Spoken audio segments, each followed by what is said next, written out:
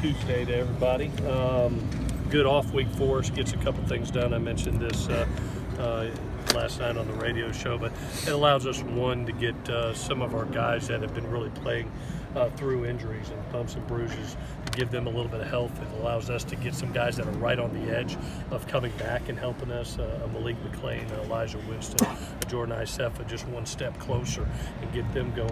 Um, it allows us to advance uh, some young people that are right on the cusp uh, for having to go in there and play one play away.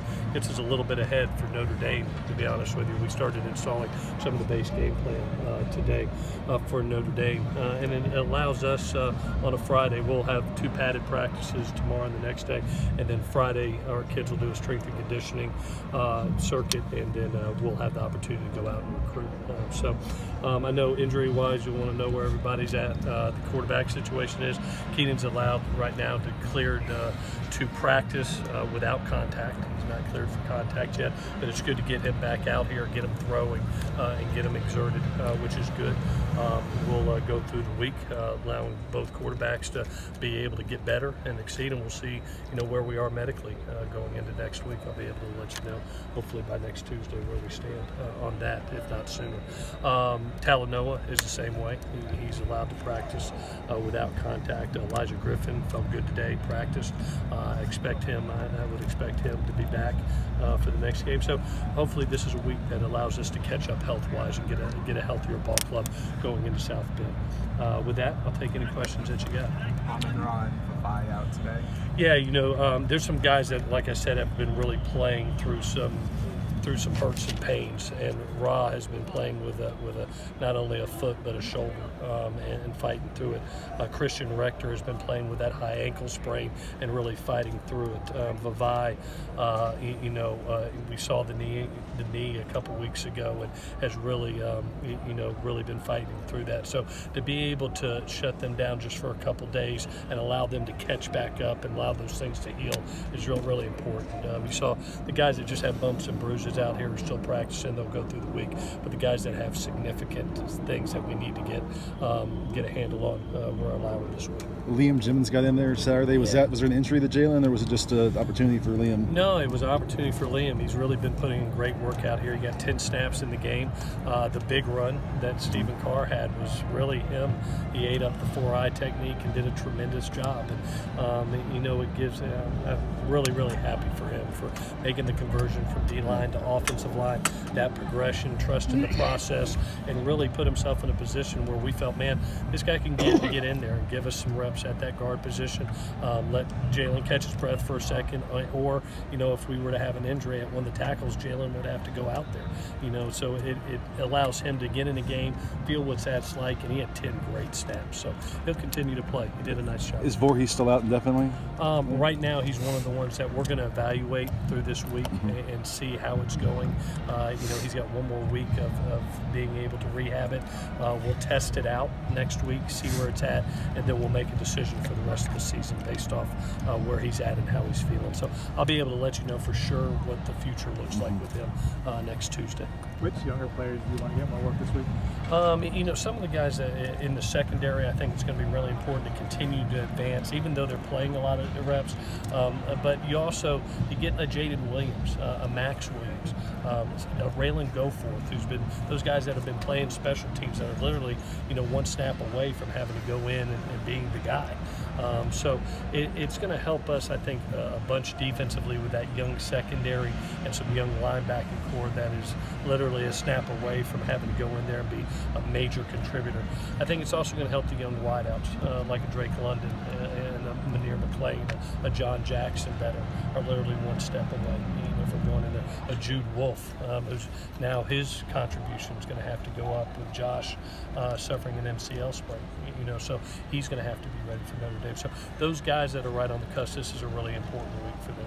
Markese Stepp was committed to Notre Dame, decommitted. Uh, what do you recall from his recruitment and, and, that moment when he kind of became back on the market, so to speak? Yeah, I, just felt like we were really fortunate uh, to get a guy of that caliber and, and just a first-class person uh, that I thought handled his recruiting the right way um, and, you know, came out here, had a very genuine interest and love for this place um, and went through the process and thought it out and said, you know what, this is the best fit for me.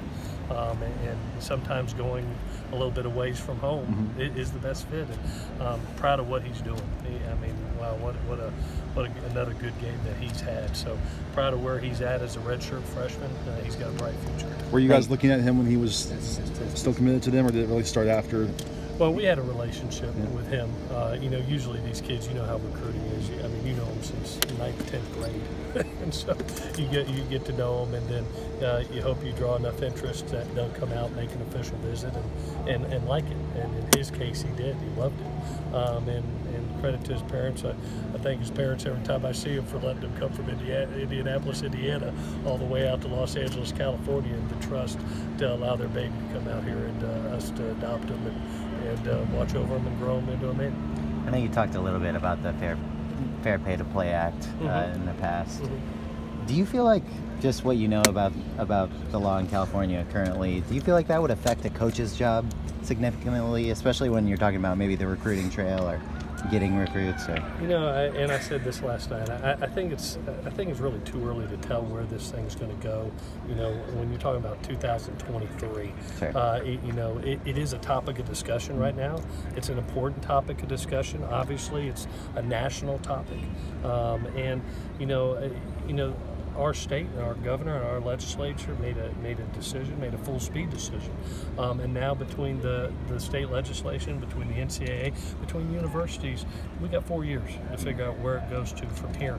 And as coaches do, rules change and, and things change. And, and for a coach, what's your job is your job to adapt. And in my 25 years, a lot of stuff has changed. Uh, and it continues to. Uh, and so um, and that's part of being a coach is adapting with the changing culture, the changing rules, the changing environment. And this will be one of those. Um, but I have great trust in our state legislature as well as the NCAA as well as the universities um, that they'll come up. And this isn't just the only state. There's going to be multiple. Uh, I heard Florida is, is already trying to get one passed. And So it, it'll be a national topic. And, and uh, over a course of time, it'll get figured out uh, what's best for both both sides. Have you made any Florida's certain? looking at 2020. I mean, they may be speeding things up. Yeah. I'm in California, so I'll, I'll, I'll, I'll, Okay. even though my home state is Florida. I know. Have you, have you made any certain red shirt decisions at this point now? Um, you, you know, we're, we're going through in this off week and, and evaluating kids this week. Um, a lot, some kids have already passed Yeah. the four games, uh, you know, that, that we're committed to, you know, playing for the rest of the years. Some guys are sitting at two, three, four games um, and uh, and still having a, a game available uh, to do. But when we hit that four game mark, we sit down with guys and be able to say, okay, here's where we are. Here's where we are. You're making significant contribution. I have a huge database sheet that I get at each Monday that has the players' total number of plays for the season, for each game, offense, defense, special teams, and I look at their contribution and what they're doing. And uh, once we commit to a kid that that it's it's his opportunity to play the whole season, then we're trying to garner enough reps Yeah. for it to be a quality season where they can get, you- you know, hopefully 100 plays or more on tape. You know, whether that's offense, defense, and special teams. But- play with uh, Kedon uh, and Matt Fink now both having road starts under their belt. How helpful would that be if there is any uncertainty going into next week about Kedon's status? Well, I, I think, and I'm so happy for both because they've got experience, and that's what makes a quarterback. Is, and it's not only the success; it's the failures too that you end up learning from. And both of them have had success and failure, and they've grown from it. And uh, I'm happy for both of them that they got the opportunity. I've told them both that that uh, learn from each experience, and uh, they will. And, and being on the road, they've learned is hard and and uh, there's a uh, level of decision making and discipline that it's even harder when you're not in the friendly confines of the Coliseum. So for both of them to get that experience, wow! I mean that's awesome. Just it, it raises their stock as players and helps them grow as quarterbacks. All righty, guys. Thank you. thanks, Clark. See ya.